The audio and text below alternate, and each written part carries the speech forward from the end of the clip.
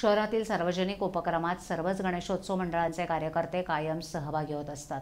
करोनाच्या काळात हा उत्सव साजरा करताना या मंडळांवर अनेक निर्बंध येत असल्यानं या मंडळांना सहकार्य म्हणून पालिकेकडून या काळात आकारण्यात येणारं शुल्क माफ करण्याची मागणी शिवसेना आमदार प्रताप सरनाईक यांनी केली आहे. सध्या घरगुती आणि सार्वजनिक गणेशोत्सवाची तयारी सुरू झाली आहे. सर्वच ठिकाणी सार्वजनिक गणेशोत्सव मंडळं गणेश मंडळ उत्सवाच्या तयारीला लागली आहेत.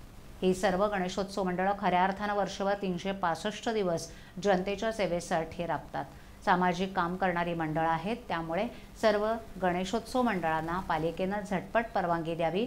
तसंच गणेशोत्सव मंडळांकडून कोणत्याही प्रकारचे परवाना शुल्क पालिकेनं घेऊ नये.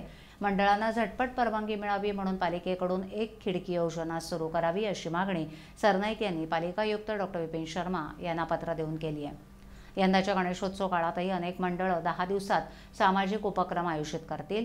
यापुढेही लोकांच्या मदतीसाठी कार्यकर्ते तयार राहणार असल्यानं अशा सेवाभावी कार्यकर्त्यांचं लसीकरण होणं गरजेचं असल्याची भूमिका त्यांनी मांडली आहे.